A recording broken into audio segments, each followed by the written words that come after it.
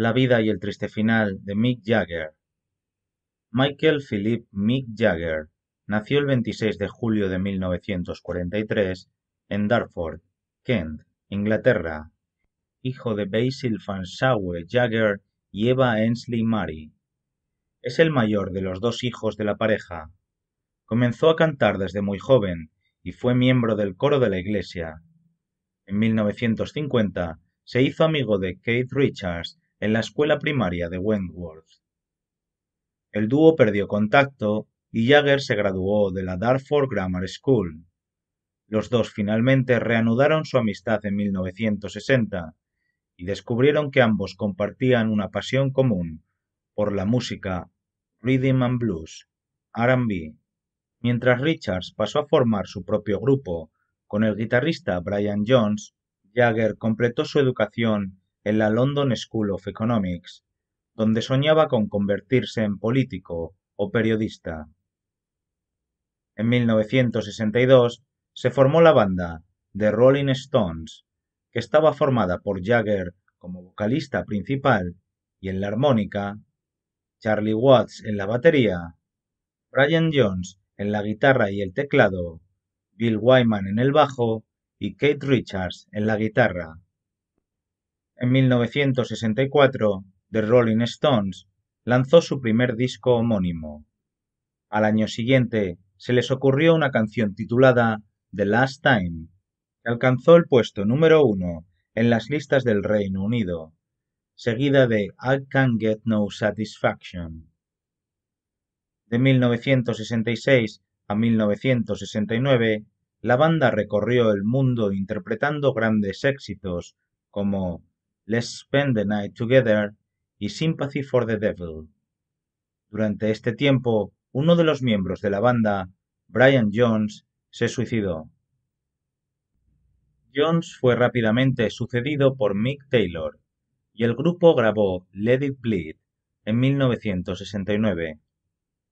Dos años más tarde, lanzaron uno de sus mejores álbumes, Sticky Fingers, que incluía sencillos como Brown Sugar y Wild Caballos.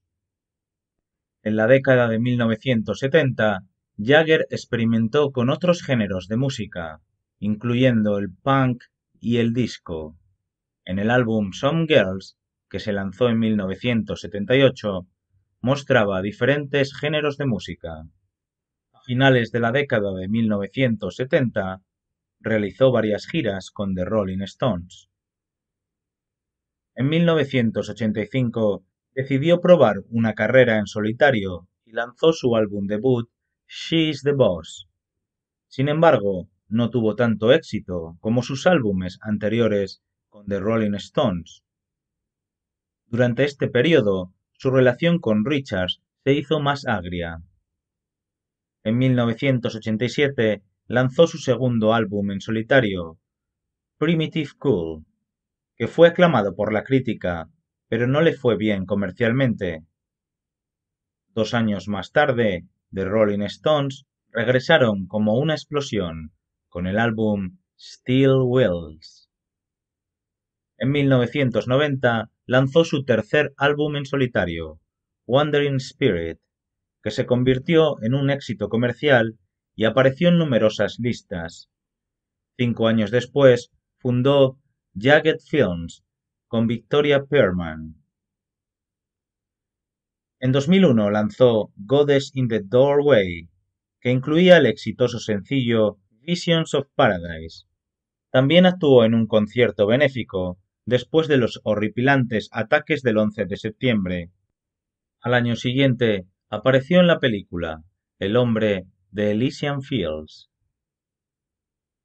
En 2007, The Rolling Stones hicieron una fortuna durante su A Bigger Band Tour, una gira que les valió un lugar en el libro Guinness de los récords. Dos años más tarde, colaboraron con U2 e interpretaron Give Me Shelter en el concierto del Salón de la Fama del Rock and Roll en su 25 aniversario. En 2007, Mick produjo la comedia Los Caballeros de la Prosperidad, que se emitió en la ABC. También se le vio en el primer episodio del programa. En 2011 formó un nuevo supergrupo llamado Super Heavy, con los siguientes miembros: Josh Stone, A. R. Rahman, Damian Merle y Dave Stewart. The Rolling Stones tocaron en el Glastonbury Festival en 2013.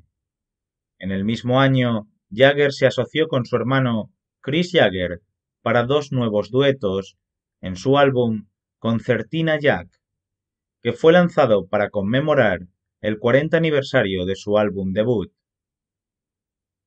En julio de 2017, Jagger lanzó el sencillo de doble cara Gotta Get a Grip y England Lost. Jagger co-creó y fue productor ejecutivo de la serie dramática de época Vinyl de 2016, protagonizada por Bobby Cannavale y transmitida por una temporada en la HBO antes de su cancelación. De 1966 a 1970, Jagger tuvo una relación con Marianne Faithfull, una cantautora y actriz inglesa. Tuvo una relación con Marsha Hunt de 1969 a 1970. Se casó con Bianca de Macías, nacida en Nicaragua el 12 de mayo de 1971. Bianca solicitó el divorcio siete años después. Mientras aún estaba casado con Bianca, comenzó a salir con Jerry Hall. La pareja se casó el 21 de noviembre de 1990 en un servicio hindú en una playa de Indonesia. El matrimonio fue negado nueve años después. Mick Jagger es conocido por tener muchas relaciones. Tuvo siete hijos con cuatro mujeres diferentes: Marsha Hunt, Bianca de Macías, Jerry Hall y Luciana Jiménez Morad. Melanie Hamrick dio a luz al octavo hijo de Jagger, de Octavian Basil Jagger, el 8 de diciembre de 2016. Jagger también ha estado vinculado sentimentalmente con otras personalidades, como Angelina Jolie, Baby Buell, Carla Bruni, Sophie Doll, Carly Simon y Chrissy Shrimpton. En 2010, la vida de Mick Jagger se destacó en los Rencontres d'Arles, un álbum de fotos que mostraba su desarrollo como músico durante cinco décadas. Gracias por escuchar la historia de la vida de Mick Jagger. Les deseo a todos salud y felicidad y nos vemos en los próximos vídeos.